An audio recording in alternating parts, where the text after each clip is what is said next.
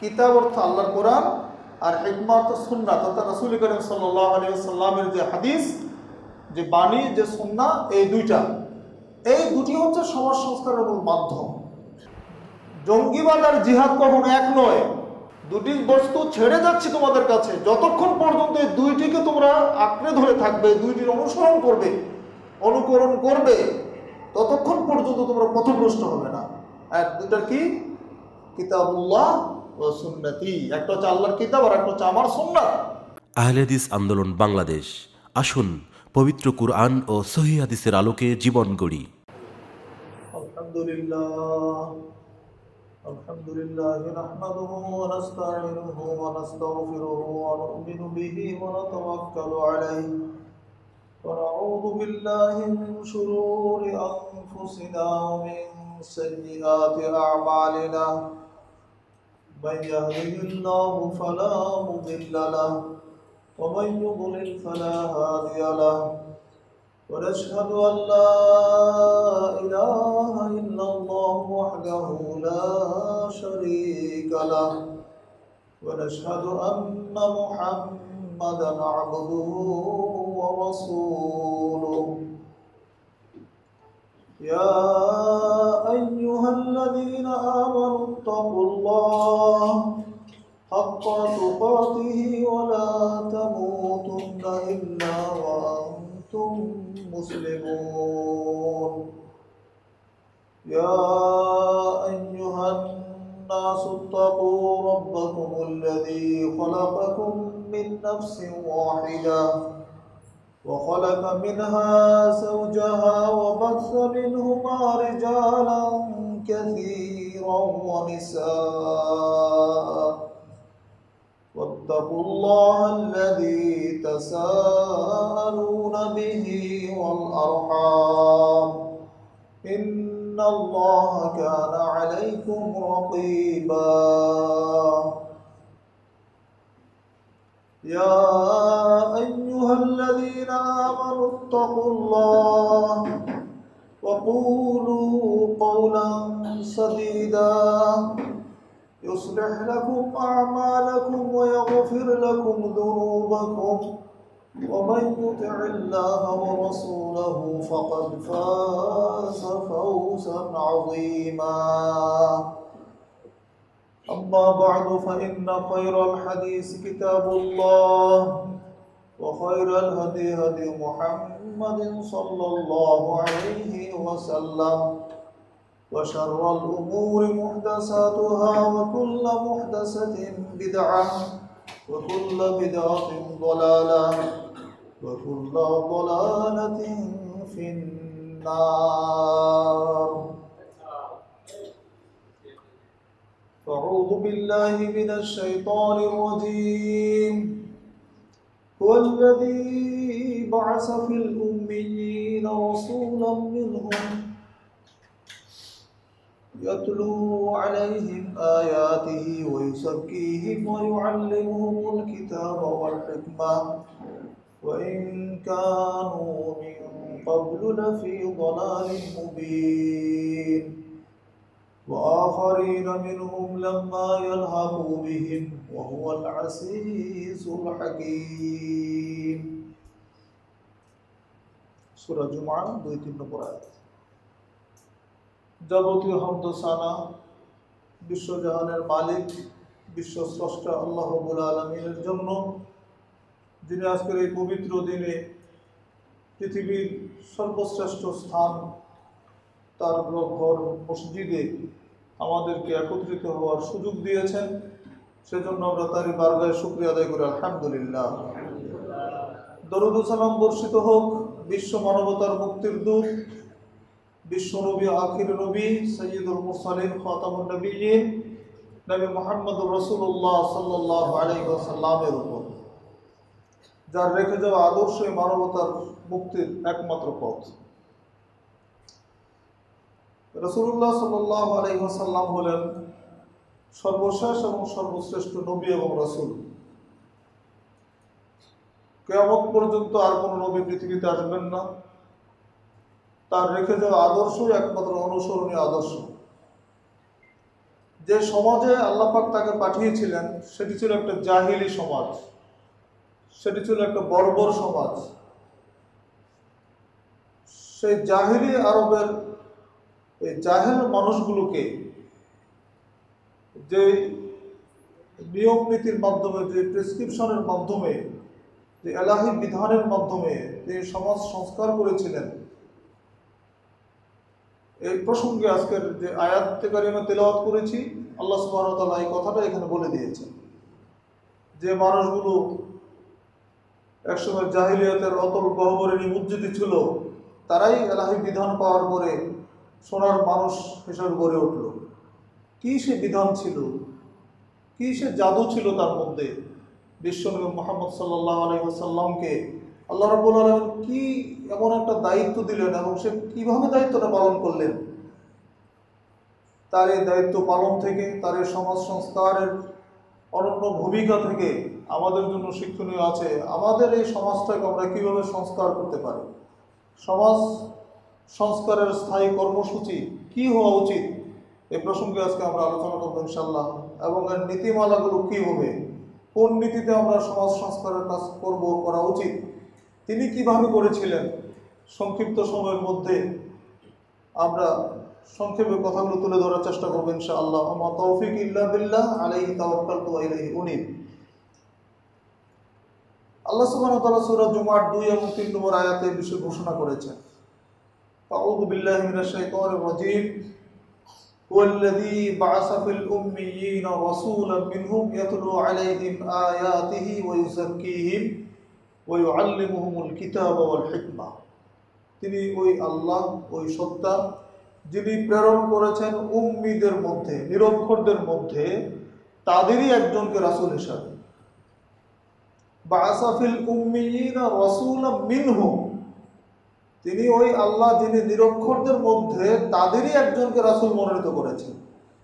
ইয়াতলু আলাইহিম আয়াতিহি, যিনি তাদের নিকটে তার আয়াত তেলাওয়াত করেন। ওই উসাক্কিহিম তাদেরকে পবিত্র করেন, পরিশুদ্ধ করেন। ওই আল্লিমুহুমুল কিতাব ওয়াল হিকমা, আর কি করেন? তাদেরকে শিক্ষা দান করেন কিতাব এবং সুন্নাত।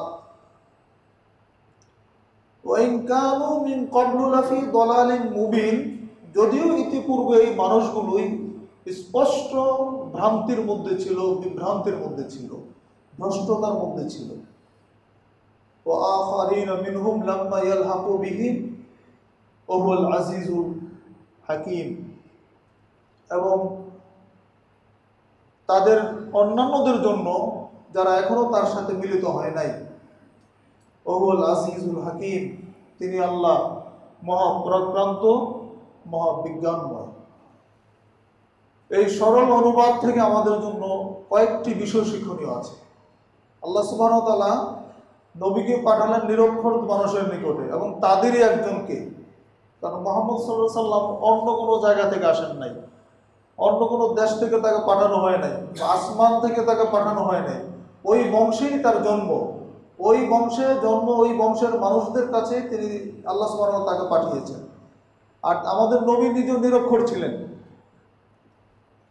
অক্ষর জ্ঞান ছিল না, কিন্তু তাই বলে মূর্খ ছিলেন না নওয়াজুবিল্লাহ রাসুল সাল্লাম মূর্খ বলা যাবে? অক্ষর জ্ঞান না থাকা আর মূর্খ কিন্তু এক জিনিস নয়।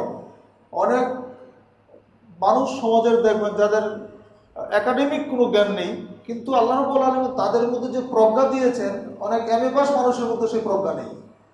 গ্রামে গঞ্জে দেখবেন যারা সালিশ দরবার করেন, বিচার আচার করেন, আসলে লেখাপড়া জানেন না, কিন্তু তাদের যে প্রজ্ঞা, ওই গ্রামেরই উচ্চশিক্ষিত কোনো মানুষের মধ্যে পাওয়া যায় না। তো রসুল করিম সাল্লাহ সাল্লামকে আল্লাহ সুহামতাল্লাহ এমন জ্ঞান দিয়েছিলেন যে জ্ঞানটা অন্য কাউকে দেন নাই। যে কথা হজরত ইব্রাহিম আলাই সাল্লাম তার ছেলেকে বলেছিলেন, ইয়া বুনাইয়া, ইন্নি কদ জাআনি মিনাল ইলমি মা লাম ইয়াতিকা ফাত্তাবিনি আহদিকা সিরাতান সাবিয়্যা হে আমার আব্বা, কয়েকটা কথা বলেছিলেন। সূরা মারিয়ামের মধ্যে আছে কথাগুলো। তার মধ্যে একটা বাক্য বলছি। তিনি বলছেন, বাবাকে, যে আমার আব্বা এমনি কদ জাআনি মিনাল ইলমি মা লাম ইয়াতিকা। আমাকে এমন এক এলেম দেওয়া হয়েছে, এমন জ্ঞান দান করা হয়েছে, যেটা আব্বা তোমাকে দেওয়া হয় না ফাত্তাবিনি তুমি আমার আনুগত্য করো, আমার কথা শোনো। আহদিকা সিরতম সাবিয়া, আমি তোমাকে সঠিক পথ দেখাবো। ছেলে পিতাকে বলছে যে, আমাকে এমন জ্ঞান দেওয়া হয়েছে যেটা বাবা তোমাকে আল্লাহ দেয় নাই। অতএব তুমি আমার আনুগত্য করো, আমি তোমাকে সঠিক পথ দেখাবো। এই এলেমটা হচ্ছে এলাহি এলেম, এলাহি জ্ঞান। যে জ্ঞান আল্লাহ সুবহানাহু তার কিছু বিশেষ ব্যক্তিকে, নবী রাসূলদেরকে দিয়েছিলেন। তো রাসূল করিম সাল্লাল্লাহু সাল্লাম উম্মি ছিলেন কিন্তু তিনি মূর্খ ছিলেন না, জ্ঞানহীন ছিলেন না, তিনি পণ্ডিত ছিলেন। তার প্রত্যেকটা কথার মধ্যে, প্রত্যেকটা কর্মের মধ্যে বিজ্ঞান খুঁজে পাবেন। রাজনীতি খুঁজে পাবেন, সমাজনীতি খুঁজে পাবেন, রাষ্ট্রবিজ্ঞান খুঁজে পাবেন। সব কিছু কিন্তু তার হাদিসের মধ্যে আছে। তারপরে তার কাজটা কি? ইয়াতলু আলাইহিম আয়াতিহি, তিনি আমার আয়াতগুলি তেলাওয়াত করে শোনান। তাদের কাছে আমার যে বিধান, এটা তিনি শোনান।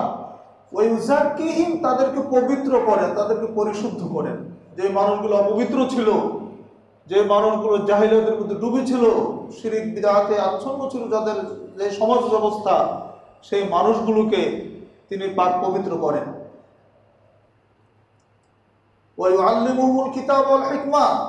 আর তিনি তাদেরকে শিক্ষাদান করেন কিতাব এবং সুন্না হিকমা মানে সুন্না তাহলে কিতাব এবং সুন্না হিকমা, এর মাধ্যমে তিনি সমাজটাকে সংশোধন করেন। এই আয়াতের মধ্যে দুটি বিষয় খুঁজে পাওয়া যায়। সমাজ সংস্কারের জন্য দুটি স্থায়ী কর্মসূচি, একটি হচ্ছে তাস্কিয়া আর একটা হচ্ছে তারবিয়া। একটা হচ্ছে তাস্কিয়া আর একটা হচ্ছে তারবিয়া। তাস্কিয়া হচ্ছে পাক পবিত্র হওয়া, পরিশুদ্ধ হওয়া। ইমান আনলেন আপনি পাক হলেন। ছিলেন আপনি কাফের, মুশরেক। আপনি তৎকালীন সমাজে মূর্তি প্রতিমার পূজা অর্চনা করতেন। সব কিছু ত্যাগ করে আপনি নিজের পাক পবিত্র হয়ে ইসলামের কথা আসলেন। ঘোষণা করলেন আসাদু আল্লাহ ইলাহিল্লাহ আসাদু আন্না মোহাম্মদ রসুল্লাহ আপনার অন্তর পাক হলো, পবিত্র হলো। এবার আল্লিমুল কিতাব হিকমা। এবার এই পবিত্র আত্মাটাকে প্রশিক্ষণ দিয়ে গড়ে তুলতে হবে। তার বিয়া যেটাকে প্রশিক্ষণ বলা হয়। প্রথমে তাস্কিয়া তারপরে তারবিয়া এই তাস্কিয়া এবং তারবিয়ার মাধ্যম হচ্ছে কিতাব ও সুন্না, যেটা আল্লাহ বলে দিয়েছেন, আল কিতাব অল হিকমা। কিতাব অর্থ আল্লাহর কোরআন, আর হিকমা অর্থ সুন্না তথা রসুল করিম সাল্লাহ আলী সাল্লামের যে হাদিস, যে বাণী, যে সুন্না, এই দুইটা। এই দুটি হচ্ছে সমাজ সংস্কারের মূল মাধ্যম।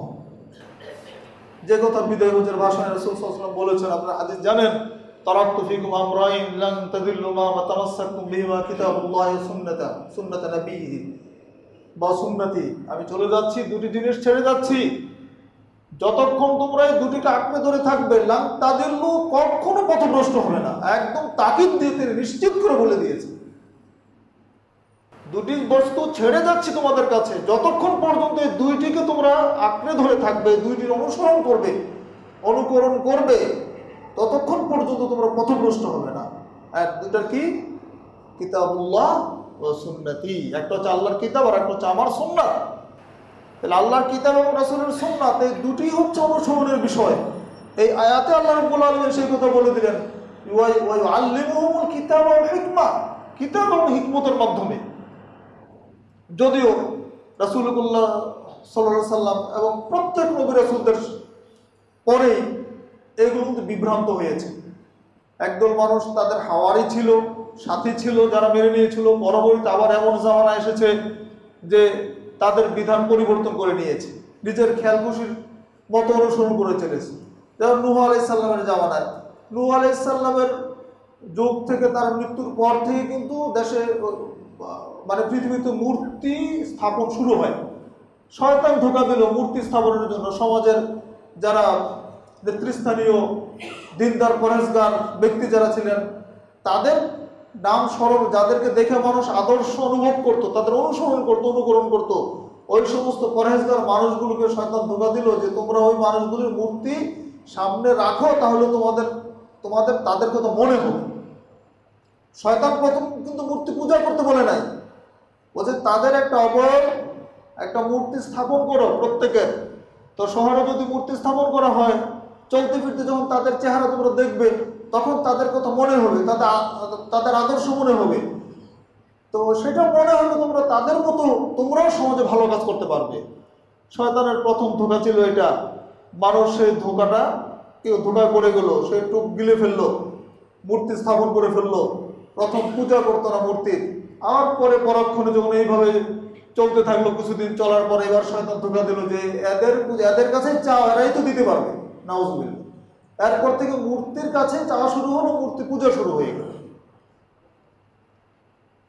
নোয়ারে সাল্লামের আমল থেকেই প্রথম মূর্তি, এই পৃথিবীতে মূর্তি পূজার সূচনা হয়েছে সেই আমল থেকে। রাসূলুল্লাহ সাল্লাল্লাহু আলাইহি সাল্লাম বলেছেন, মামিন উম্মাতিন ক্বাবলি ইল্লা কানা মিন উম্মতি উম্মতি হাওয়ারিয়ুন ও আসহাবুন। পৃথিবীতে এমন কোন নবী রাসুল আসে নাই যাদের কোনো হাওয়ারি, অনুসারী অনুচর বৃন্দ ছিল না, সাথী বা সাহাবী ছিল না তারা তাদের সুন্নাত অনুসরণ করত এবং তাদের আদেশ নিষেধ মেনে চলত।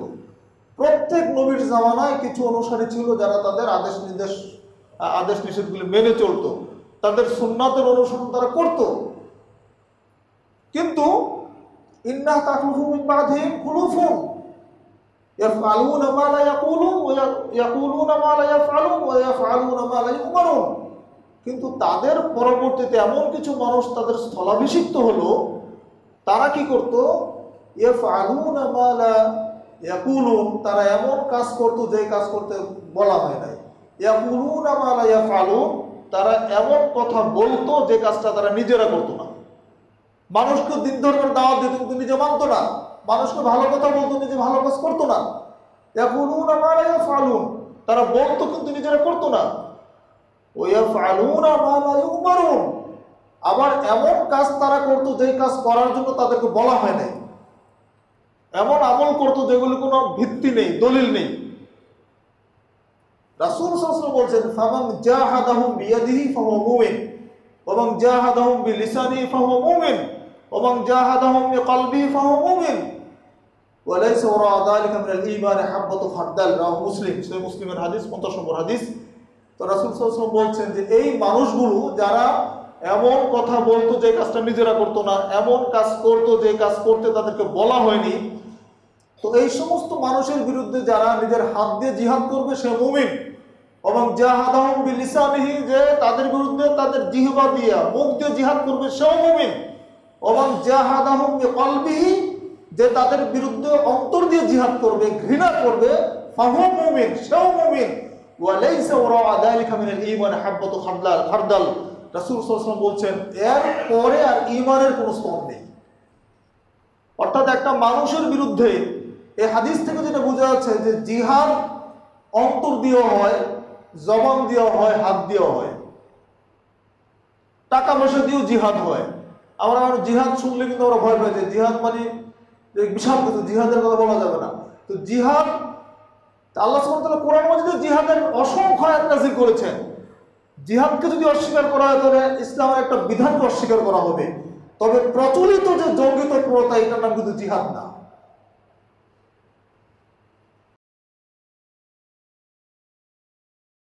তো জিহাদ তো সবকিছু দিয়ে হচ্ছে। রাসূল বলছেন জাহিদুল মুশরিকিনা বিআমওয়ালিকুম ওয়া আনফুসিকুম ওয়া আলসিনাতিকুম। তোমরা মুশরিকদের বিরুদ্ধে জিহাদ করো তোমাদের। মাল দিয়ে এক নম্বর তিনি মালের কথা বলেছেন। তারপরে বলেছেন তোমাদের কথা দিয়ে। তিন নম্বরে বলেছেন তোমাদের জান দিয়ে জিহাদ করো। তাহলে প্রথম তিনি বললেন, মাল দিয়ে জিহাদ। তাহলে জিহাদ করতে মালেরও প্রয়োজন হয়। মাল দিলেও জিহাদ হয়। মুখ দিয়ে কথা বললেও জিহাদ হয়। অন্তর দিয়ে ঘৃণা করলেও জিহাদ হয়। জিহাদ অর্থ হচ্ছে সার্বিক প্রচেষ্টা, একটা অন্যায়ের বিরুদ্ধে প্রতিরোধ করা, একটা অন্যায়কে সমাজ থেকে উৎখাত করা। নিজের নিজের মধ্যে যদি কোনো শরীর বিরোধী কোনো কর্ম থাকে, এইটাকে প্রতিরোধ করার জন্য যে আপনি প্রচেষ্টা চালাবেন এটার নামও জিহাদ। তাহলে মোমেন্ট কিন্তু সবসময় জিহাদ করে। মোমেন্টরা প্রতিনিয়ত জিহাদ করে শয়তানের বিরুদ্ধে, নিজের নফসের বিরুদ্ধে, নিজের অন্যায়ের বিরুদ্ধে। এইটা হচ্ছে জিহাদ। আর কিতাল যেটাকে বলা হয়, এটা হচ্ছে সরাসরি যুদ্ধ যেটা, সেটা করার জন্য বৈধ কর্তৃপক্ষ লাগবে, ইসলামী খেলাফত লাগবে। যে কেউ জিহাদ বলতে যে মারামারি, এটা করতে পারবে না। এই জন্য দেশে যে জঙ্গি তৎপরতা চলছে, এটা ইসলাম সমর্থিত কোনো পদ্ধতি নয়, এটা ইসলাম বিরোধী। আর এই কারণেই, এই ভুল আকিদার কারণেই ইসলামের চারজন খলিফার তিনজন খলিফাকে মুসলমানরা হত্যা করেছে। সেই ইতিহাস আপনারা জানেন, যে চারজন খলিফার আল্লাহ ওয়া তাদেরকে পৃথিবীতে জান্নাতের সার্টিফিকেট দিয়েছেন। দুনিয়াতে যাদের জন্য জান্নাতের সুসংবাদ আল্লাহ পাঠিয়ে দিলেন, সেই খলিফাতুল মুসলিমিন ওমর ফারুক রাদিয়াল্লাহু আনহু, ওসমান রাদিয়াল্লাহু আনহু, আলী রাদিয়াল্লাহু আনহুর মতো জগৎ বিখ্যাত মনীষী, বিখ্যাত খলিফা, তাদেরকে পর্যন্ত এই চরমপন্থীরা হত্যা করেছে যে তারা ইসলাম বিরোধী। হ্যাঁ তারা ইসলামের এই ক্ষতি করেছে, তারা জাহান নামে যাবে বলুন নওয়াজুবিল্লাহ তা আল্লাহ তালার বিচার হচ্ছে তারা জান্নাতি। আর আপনার আমার মতো মুসলমান, কারও কারও যারা বিভ্রান্ত, তাদের যদি আকিদে এরকম হয় যে তারা অন্যায়কারী, তাদেরকে মেরে ফেলতে হবে, তাহলে ওই জিহাদ আর এই জিহাদ কি এক হলো? ঠিক ওদের উত্তরসূরি যারা, তারা হচ্ছে জঙ্গিবাদ করে। যারা তিন খলিফাকে হত্যা করেছে, তাদের যারা উত্তরসূরি, তারাই হচ্ছে জঙ্গি তৎপরতার সাথে জড়িত। সামগ্রিকভাবে প্রত্যেকটা মুসলমান মুজাহিদ প্রত্যেকটা মুসলমান তার সার্বিক জীবনে জিহাদ করে, প্রতিনিয়ত করে এবং করবে। কাজে এই ভুল ব্যাখ্যাতে যাবেন না কেউ।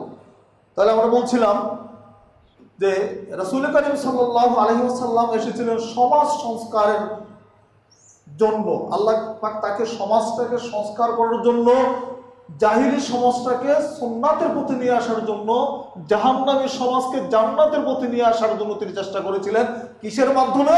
কিতাব ও সুন্নাতের মাধ্যমে। নিজের মন থেকে তিনি কিছু করেন নাই।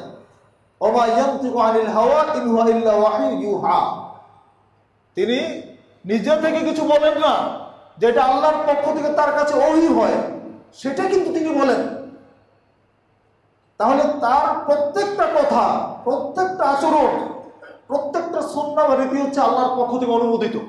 আল্লাহর পক্ষ থেকে অনুমোদিত। আল্লাহর নির্দেশ মতো তিনি এগুলি করেন।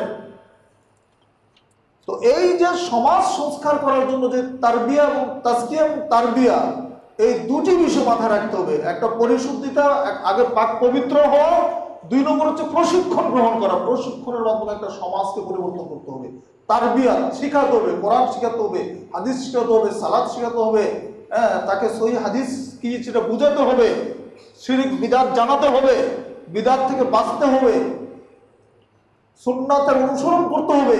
তো এইগুলো যদি আপনি না শিখেন, তাহলে আপনি কীভাবে সম্ভব? এই জন্য আল্লাহ রাসুল সাল্লামকে এই শিখানোর দায়িত্ব দিয়ে পাঠিয়েছিলেন আল্লিমুকুমুল কিতাব আল হিকমা। তিনি তাদেরকে শিক্ষা দিতেন কিতাব এবং সুন্নাত। তো এখন তো নবী আমাদের সামনে আসবেন না। এখন তো নবী রাসুলরা আমাদের সামনে আসবেন না, সাহাবিরা নেই, খলিফারা নেই, তো এখন কে শিখাবে? এখন তো শিখতে হবে। এই তালিম, এই তারবিয়াত তো এখনও চলবে। তাই আমার পর্যন্ত এই তারবিয়াত আপনাকে করতে হবে, এই প্রশিক্ষণ আপনাকে নিতে হবে, দিতে হবে। যদি এই শিক্ষার মধ্যে থাকা সম্ভব হয়, তবে আমরা হক পথে টিকে থাকতে পারব ইনশাল্লাহ আর যদি নিজেরা মনে করে যে না, আমরা তো জানি, আর কারও জানার দরকার নেই। তাই ইমাম সাহেব জানেন আমাদের জানার দরকার নেই। ইমাম সাহেব এক- একাই জান্নাতে যাবেন, আপনাদের আমাদের যেতে হবে না। ইমাম সাহেবের দায়িত্ব আপনাদেরকে শিখানো আপনাদেরও কর্তব্য ইমাম সাহেবের কাছে শিখা এই শিক্ষা, দান এবং শিক্ষা গ্রহণ, এই দুটি বিষয় কিন্তু খুব আন্তরিক, সম্পৃক্ত একটার সাথে আর একটা এই দুইটা যদি উঠে যায় সমাজ থেকে, এই সমাজ আবার জাহিরি সমাজে পরিণত হবে। এবারে আসুন তাস্কিয়া এবং তারবিয়ার যে নীতি সমূহ এই সমাজটাকে সংস্কার করার জন্য কয়েকটা নীতি অবলম্বন করা দরকার। আপনি কীভাবে সমাজ সংস্কার করবেন? একটা মানুষকে দেখলে কি বলব যে তোমার এটা হয় না, তুমি কাফের বা তুমি বিদাতি। এরকম করে যদি কাউকে দাওয়াত দেন, সে দাওয়াত গ্রহণ করবে? করবে না। এই দাওয়াত দেওয়ারও কিন্তু হেকমা আছে। কীভাবে দাওয়াত দিবেন? কীভাবে মানুষের কাছে যেতে হবে? এখানে গিয়ে কয়েকটি পয়েন্ট আমরা কথা বলব। এটাও রাসুল সাল্লাল্লাহু আমাদের শিখিয়ে দিয়েছে যেমন, একটা মানুষ অমুসলিম, তাকে প্রথম কি আপনি কি সালাতের দাওয়াত দিবেন? যে তোমাকে এইভাবে সালাত আদায় করতে হবে, এইভাবে দাঁড়াতে হবে, এইভাবে সানা পড়তে হবে, এই কথা তাকে বলা যাবে। তাকে প্রথমে কালেমার দাওয়াত দিতে হবে, তাই না? তাকে তাকে ইসলামে দাখিল করাতে হবে। ইসলামের দাওয়াত দেওয়ার পরে তখন আপনি ইসলামের যে বিধান সেখানে যাবেন। যেমন রসুল্লাহ জামাল রাজি আল্লাহকে ইয়ামানে পাঠালেন। মোয়াজ বিন জামাল রাজি আল্লাহ ইয়ামানে গেলেন। রাসুল সাল্লাম যাওয়ার সময় প্রশিক্ষণ দিলেন মোয়াজ তোমাকে আমি প্রশিক্ষণ দিচ্ছি, তুমি এই ইয়ামেনে গিয়ে ঠিক এই পদ্ধতিতে কাজ করবি। সেটা কি ছিল? তিনি বললেন, ইন্নাকা কিতাব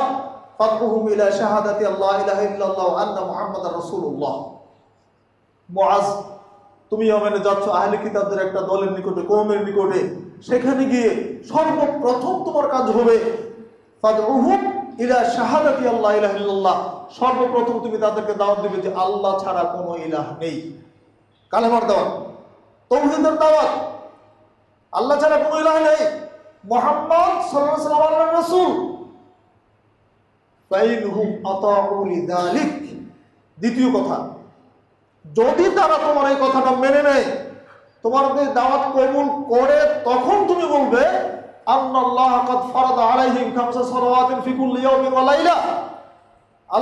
আলামিন তোমাদের উপর দিন এবং রাতে পাঁচ করে দিয়েছেন।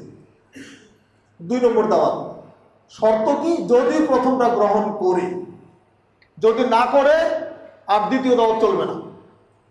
যদি প্রথমটা গ্রহণ করেন, তবে দ্বিতীয়টা বলবে না করলে দ্বিতীয়টার দরকার নেই। মুসলিম স্টেটে যদি কোনো অমুসলিম বসবাস করে, তার শুধু দায়িত্ব যদি ট্যাক্স দিয়ে বসবাস করে, সে বসবাস করতে পারবে। তার বিরুদ্ধে অস্ত্র ধারণ করা যাবে না। দাওয়াত দিতে হবে তাকে। এখন তিন নম্বরে বললেন যদি তারা তোমার এই কথাটাও মেনে নেয়, পাঁচ সালাতও যদি তারা আদায় করে তখন তুমি বলবে ফালিমহুম আন্নাল্লাহ কাদ ফারাদা আলাইহিম সাদাকা। আন্নাল্লাহ কাদ ফারাজা সাদাকা তুখাযু মিন আগনিয়াইহিম ওয়া তুরাদ্দু আলা ফুকারাইহিম। মুআজ, তুমি তৃতীয়বারে তাদেরকে বলবে যে তোমাদের উপর জাকাত ফরজ করে দেওয়া হয়েছে। যা তোমাদের ধনীদের কাছ থেকে গ্রহণ করে গরিবদের মধ্যে বন্টন করা হবে। দেখেন, স্টেপ বাই স্টেপ কিন্তু দাওয়াত দেওয়া হচ্ছে।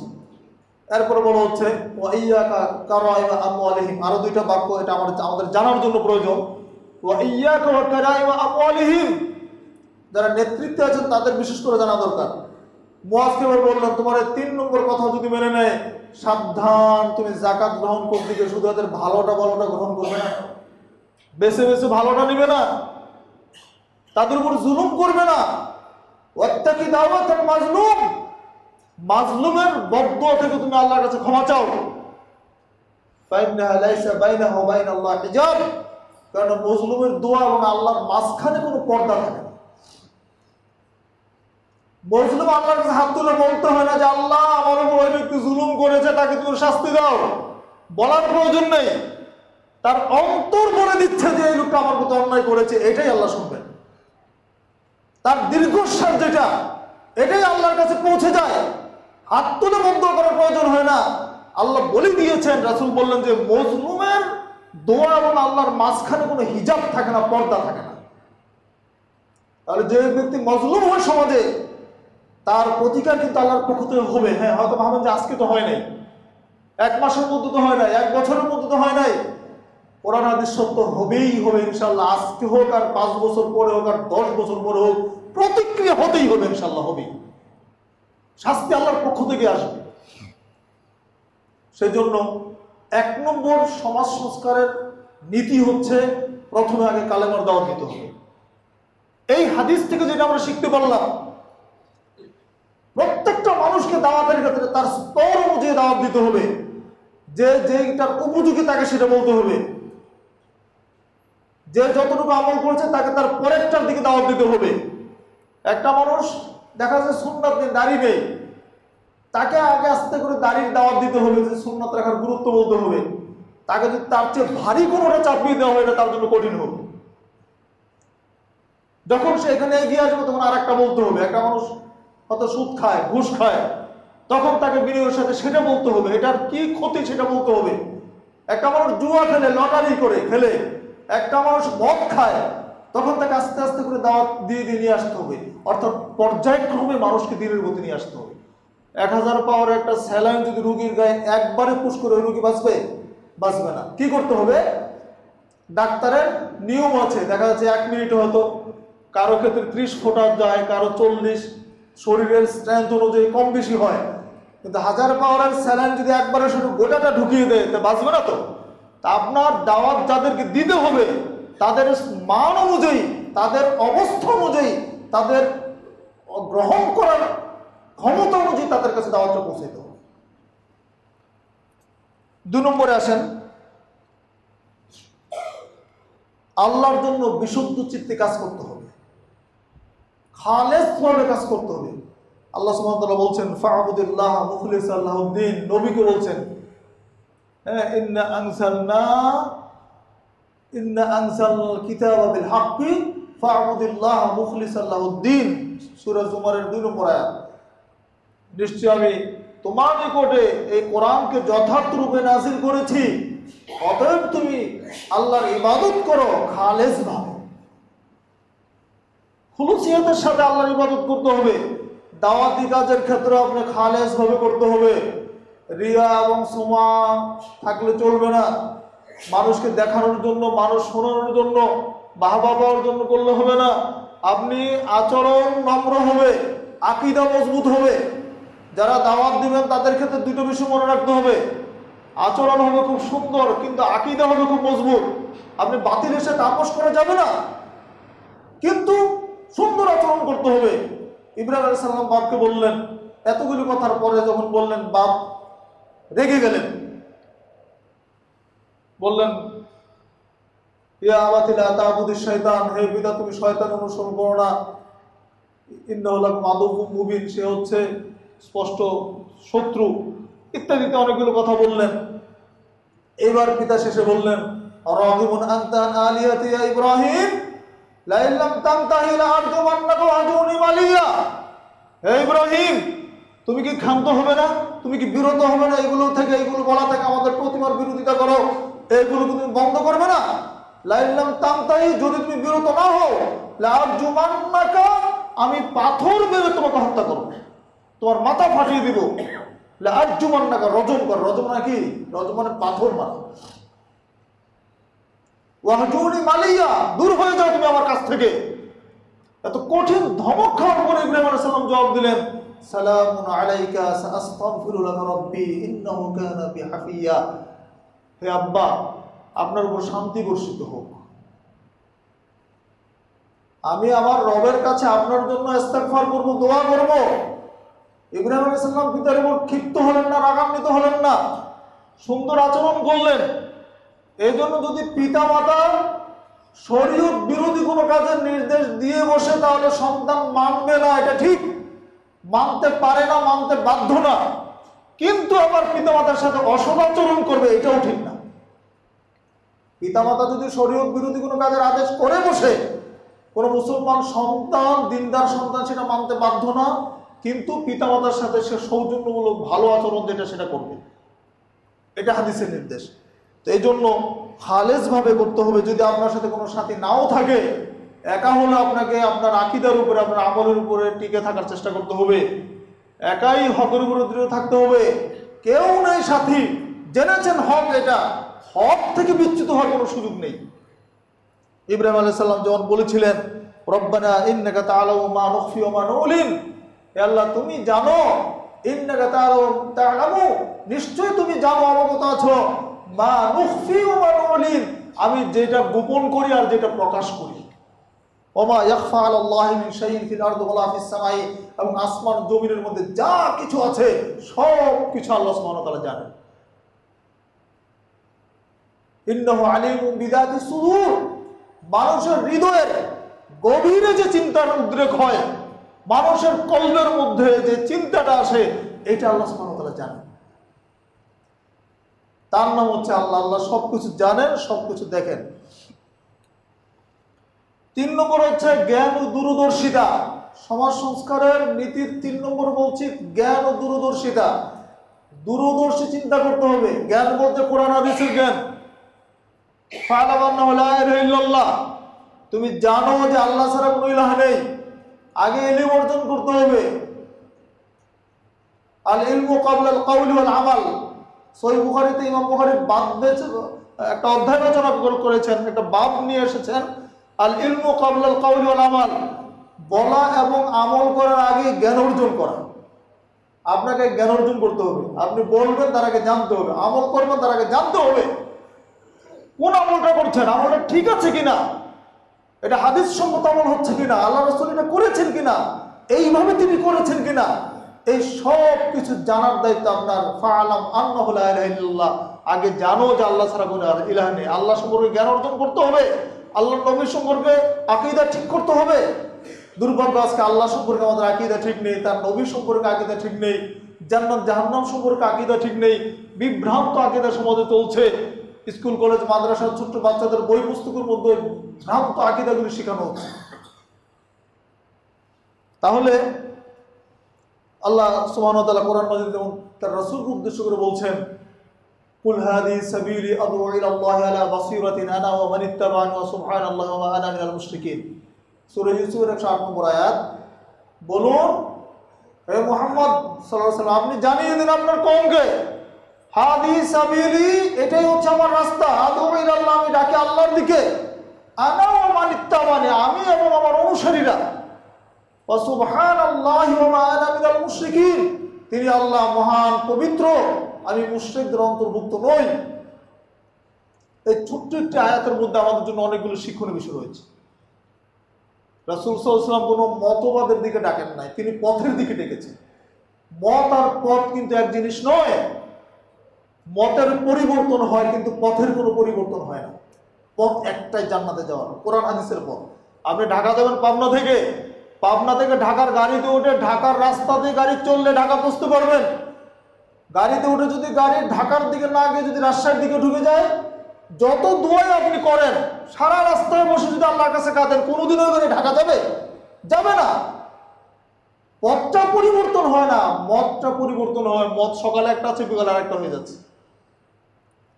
বাংলাদেশের সংবিধান চোদ্দবার পরিবর্তন হয় নাই, এটা মানুষের মাথা থেকে তৈরি হয়েছে। একটা রাষ্ট্র পরিচালনার যা যা প্রয়োজন করেছেন, কিন্তু আবার তাদেরই চিন্তা আসছে যে না, ঠিক আছে, এই জায়গাটা সংশোধন করা দরকার। আবার সংশোধনী নিয়ে এসেছেন কিন্তু আল্লাহর কোরআনের মধ্যে কোনো সংশোধন এসেছে?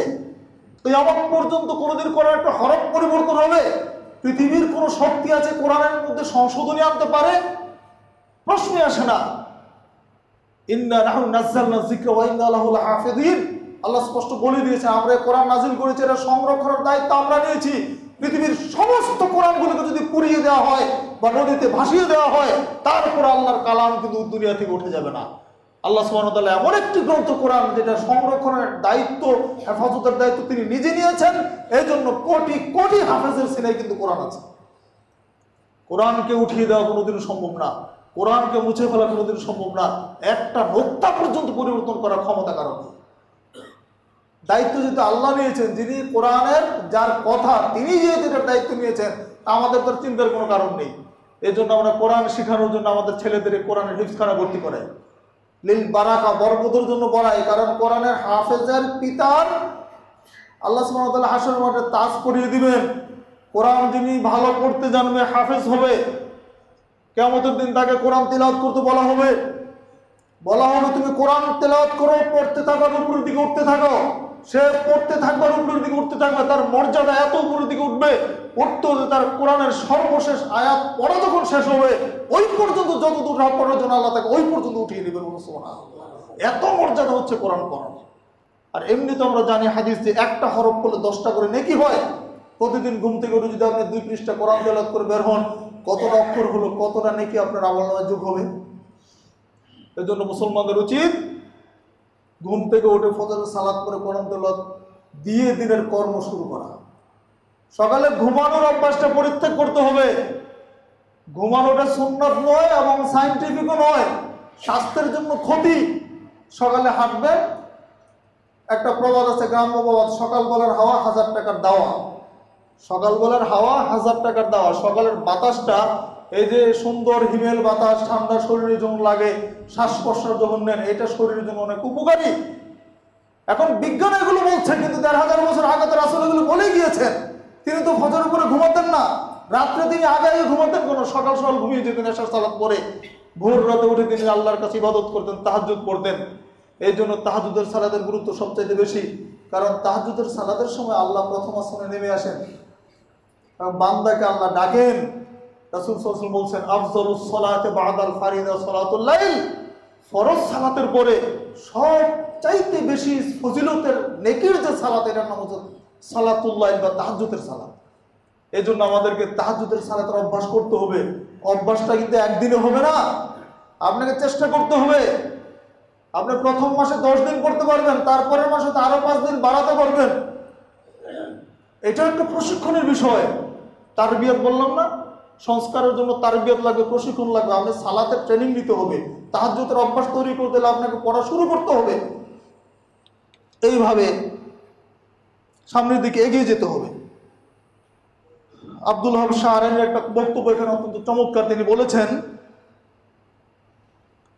قد كان الأئمة المستهدين كلهم يحثون أصحابهم على العمل بظاهر الكتاب والسنة সমস্ত আইম্মাই মুস্তাহিদিন যারা আছেন পৃথিবীতে, প্রত্যেকের কথা ছিল এটা ইহুসুনা আসহাবাহুম আলাল আমালি ওয়াল আমালি বিজাহিরিল কিতাব ওয়াস সুন্না। তারা প্রত্যেকেই তাদের সাথীদেরকে কোরআন এবং সুন্নাতের প্রকাশ্য যে অর্থ তার অনুসরণ নির্দেশ দিয়েছেন। কোরআন এবং সুন্না কি বলে? ব্যাখ্যাতে যাওয়ার দরকার নাই। আল্লাহর এক্সাম্পল হিসেবে বলি, আল্লাহ সম্পর্কে কোরআন মজিদে কি বলেছেন আল্লাহ? আল্লাহর চেহারার কথা আছে, আল্লাহর হাতের কথা আছে, আল্লাহর পায়ের কথা আছে হ্যাঁ? আল্লাহ শুনেন, আল্লাহ দেখেন, আয়াতগুলো আছে না? কারণ আপনি যদি বলেন যে এগুলো সব কুদরত, আসলে আল্লাহর কিছুই নেই। তো এই ব্যাখ্যাটা আপনাকে কে শেখাবে? কোরআন মজিদ কে ব্যাখ্যা দিয়েছে? কোরআন তো বলছে সামিউল আল্লাহর আকার আছে। কিন্তু তার কোনো দৃষ্টান্ত দেওয়া চলবে না। তার কোনো মেশাল নেই। তিনি কার মতো, তার হাতটা কার মতো, তার পাটা কার মতো, তার চেহারা কার মতো এটা বলা যাবে। আল্লাহ একবার আল্লাহ সব চাইতে বড়। কেমন দিন এই আসমানগুলি তিনি রুটির মতো বলে এক হাতে নেবেন জমিনগুলি আর এক হাতে নেবেন। আল্লাহ আকবার। এবার আল্লাহ কত বড়। আল্লাহকে দেখা যাবে, আল্লাহর দিদার হবে। পূর্ণিমার চাঁদ দেখতে যেমন অসুবিধা হয় না আল্লাহ নবীকে সাহাবিরা জিজ্ঞেস করেছিলেন আল্লাহকে কি দেখা যাবে? আল্লাহ রসুল বললেন যে, তোমরা কি পূর্ণিমার চাঁদ দেখতে কোনো অসুবিধা হয়? সাহাবিরা বললেন যে, না হে আল্লাহ রাসুল। বলে, দেখো, পূর্ণিমার চাঁদ দেখতে যেমন অসুবিধা হয় না, আমার রবকে দেখতেও তোমাদের অসুবিধা হবে না আমার এই দিদারটা পাবে কারা? যারা আল্লাহর বিধান মানে নেককার মোমেন যারা, তারা। এটা আবার অন্য প্রসঙ্গের আলোচনা, সেদিকে যাচ্ছি না।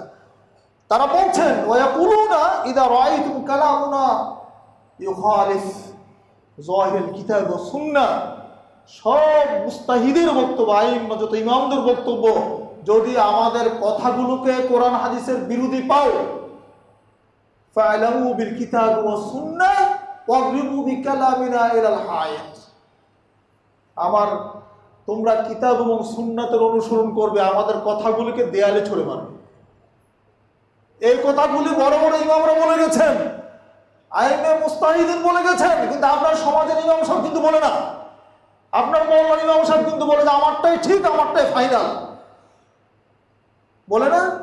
আমারটাই ফাইনাল আর উনি কি বুঝে নাকি? কিন্তু লামুসাবি কিন্তু হাদিস মানে তো সবাই তো এই সহি বুখারিকে বলে যেটা লামুসাবি হাদিসের কিতাব নামাজুবিল্লাহ সহি বুখারির কি হাদিসের পৃষ্ঠা লেখা আছে যে, এই হাদিসটা লামুসাবিরা মানবে অথচ সকল মুহাদ্দিসের বক্তব্য, আসাহুল কুতুবে বাদা কিতাবিল্লাহ সাহিহুল বুখারী তা তাদিনের সময় আসমানের নিচে আল্লাহর কালামের পরে সবচাইতে বিশুদ্ধ যে কিতাব, এটার নাম হচ্ছে সহি বুখারী। সুবহানাল্লাহ। আর সহি বুখারী থেকে যদি কোনো হাদিস আপনি তুলে ধরেন, আর যদি বলা হয় যে এটা লামুজাবিদের হাদিস ওরা কি বলবেন বলেন? তো মায়ের ছাড়া কোনো উপায় নেই। ওরা জাহেল, ইলমের জাহেল সে। চার নম্বর হচ্ছে সত্যকে স্পষ্টভাবে বর্ণনা করো, করা এবং মিথ্যার সাথে আপোষ না করা। হক কথা বলে, এটা খুব কঠিন ব্যাপার, হক কথা বলা যায় না।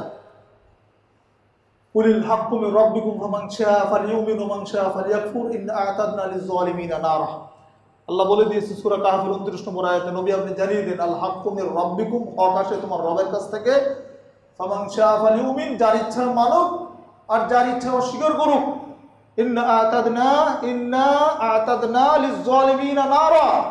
নিশ্চয় আমি জালেমদের জন্য, হককে যারা অস্বীকার করবে তাদের জন্য আগুন প্রস্তুত করে রেখেছি।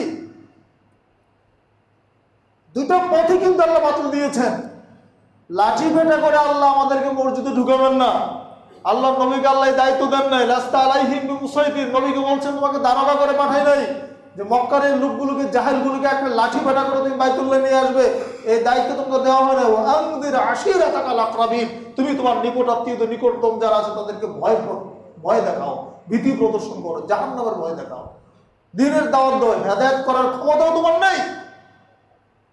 তাহলে হেদায়তের মালিক হচ্ছেন আল্লাহ, কিন্তু দাওয়াতের দায়িত্ব হচ্ছে আমাদের। চরমপন্থীরা কি করতো? তারা হেদায়ত করানোর দায়িত্ব নিয়েছিল যে তোমাকে মানতেই হবে। মানানোর দায়িত্ব কেমন না একটা যদি না মানে তার জবাব দিচ্ছে আল্লাহর কাছে করবে। কিন্তু আমি যদি দাওয়াতটা না দেয় এই জন্য আমাকে জবাবদিহি করতে হবে। আপনি হক বুঝেছেন। আপনি বুঝার পরে, জানার পরে যদি মানুষকে দাওয়াতটা পৌঁছে না দেন, এই জন্য আপনি আল্লাহর কাছে জবাব দিতে হবে। কিন্তু সে না মানলে এই দায়িত্ব আপনার না। এই জিনিসটা বুঝতে হবে আমাদেরকে। তো হক কথা বলতে হবে।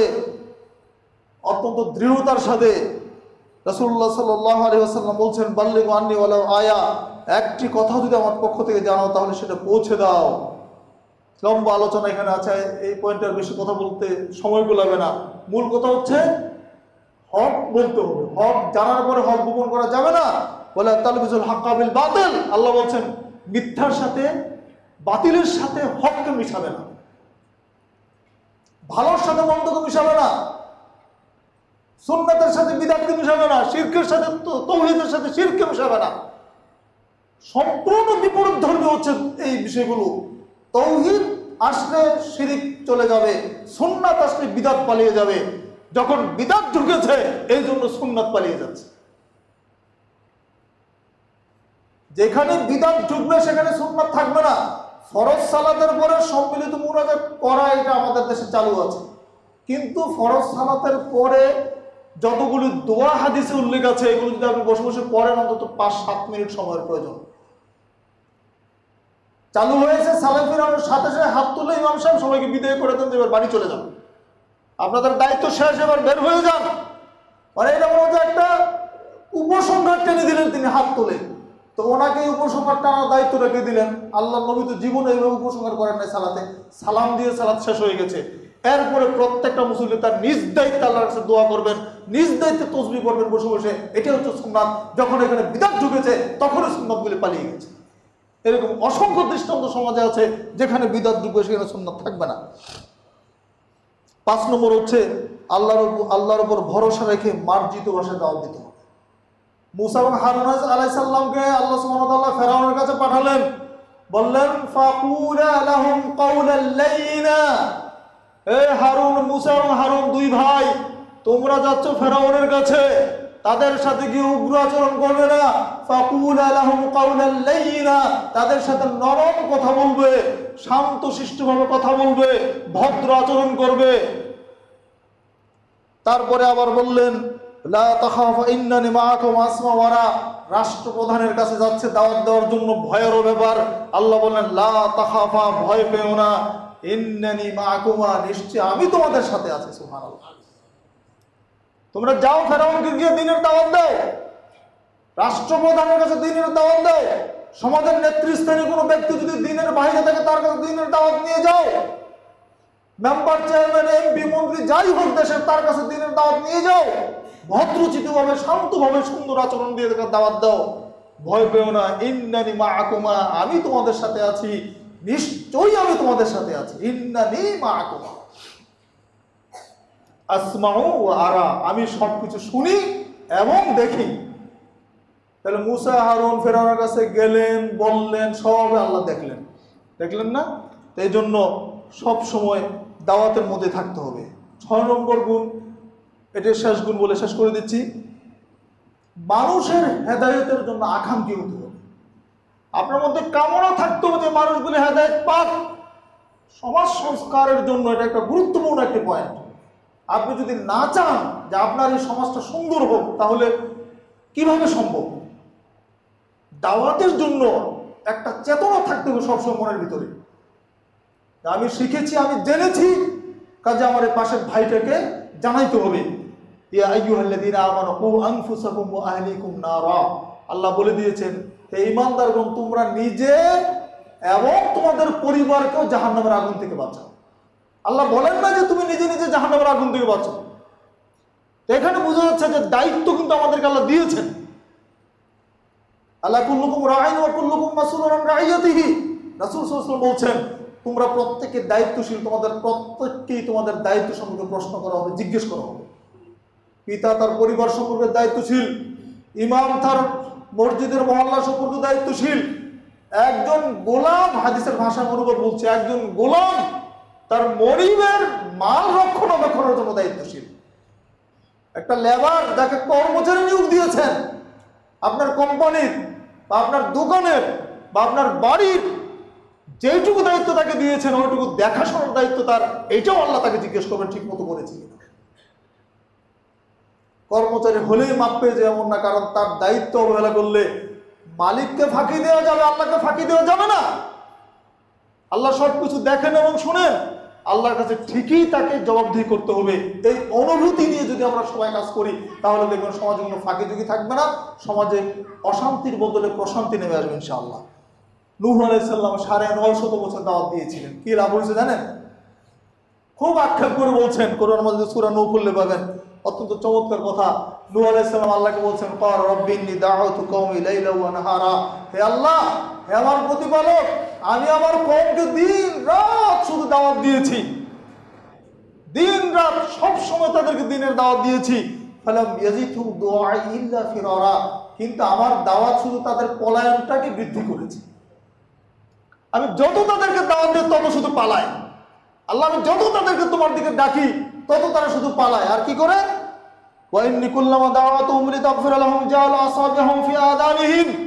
আল্লাহ যখনই তাদের কাছে আমি দাওয়াত নিয়ে গিয়েছি, যেন তুমি তাদেরকে ক্ষমা করে দাও, তখনই তারা জাআলু আসাবিহুম ফি আদানিহিম, তারা তাদের আঙ্গুলগুলোকে কানের মধ্যে ঢুকিয়ে দিয়েছে, যেন শুনতে না পায়। আর কি করেছে? ওয়াস্তাগশাউ সিয়াবাহুম ওয়া আসাররু ওয়াস্তাকবারু ইস্তিকবারা মুখ দিয়ে কাপড় ঢেকে নিয়েছে, অহংকার করেছে, জিদ করেছে। এবং চূড়ান্ত অহংকার তারা করেছে।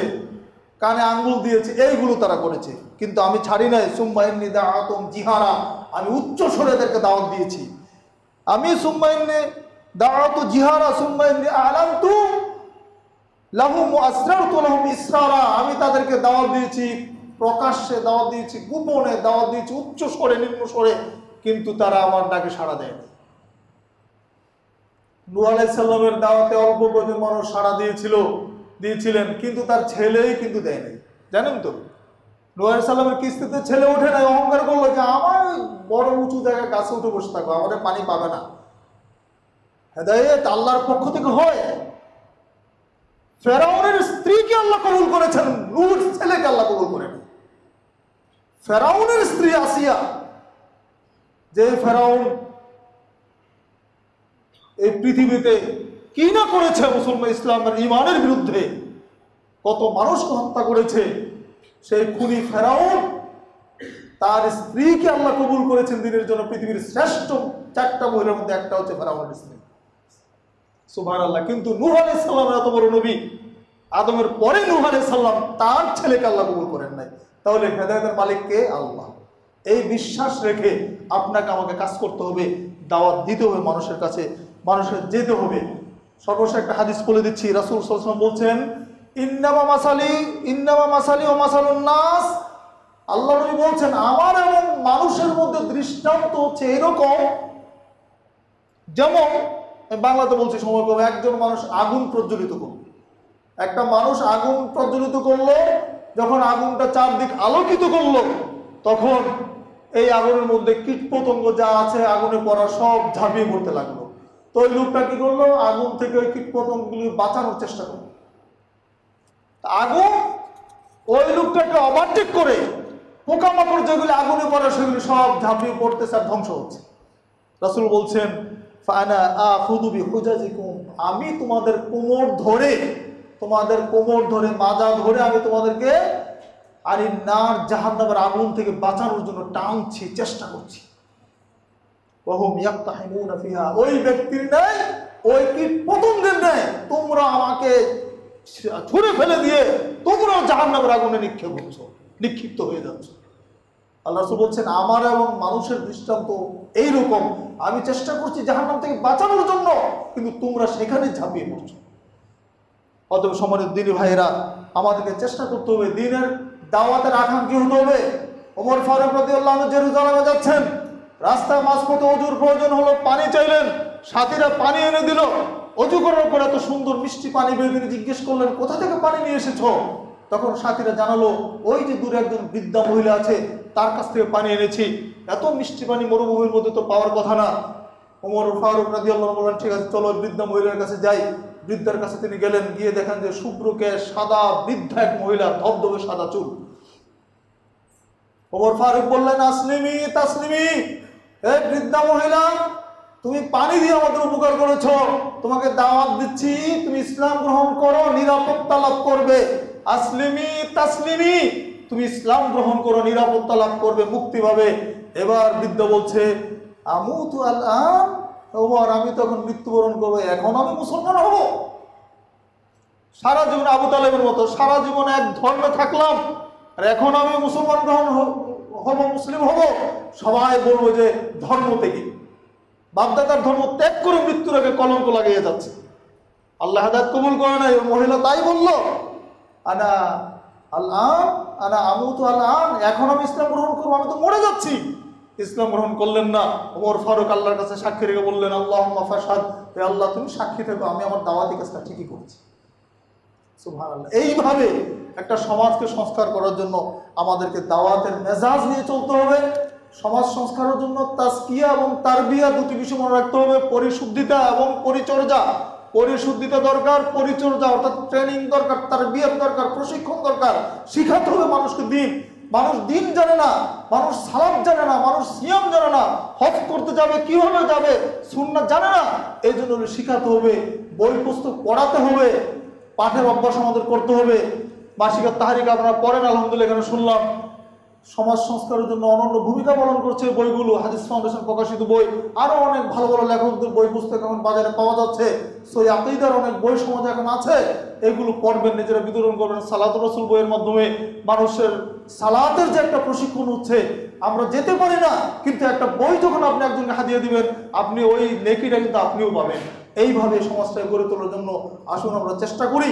সমাজটা সুন্দরভাবে যদি গড়ে ওঠে, সংস্কার হয়ে যায়, তাহলে একটা শান্তির সমাজে পরিণত হবে ইনশা আল্লাহ আল্লাহ রব্বুল আলমী আমাদেরকে কবুল করুন তার দিনের জন্য এবং আমাদেরকে যেন জান্নাতুল ফিরদাউসের অধিবাসী হিসেবে কবুল করে নেন।